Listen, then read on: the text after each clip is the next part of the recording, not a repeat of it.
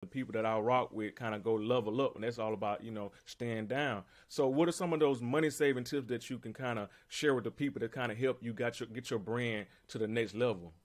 I ain't gonna lie, bro. It's no way you can really save money unless you whoever making your shit. If you could like, you feel me, really persuade them into really like knocking the price down a little bit, do it because it's either they is or they not.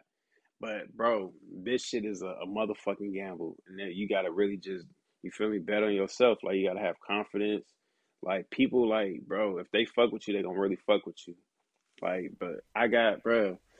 It's I don't know. You can't really save money in this game. Can't like, save money with bro, it. I'm telling you you, got to bro. Spend it to make it. You got to spend it to make Exactly, it. You got to put bro. And, and I gotta tell people, bro, you gotta you gotta automatically think that you about to lose X amount of dollars before you make all this money. Like it's not that easy. Some shit might hit, some shit might miss. Like that's just a part of it. Some shit that you think is, oh, this gonna sell way more than that other shit, it might not. It's just how it is.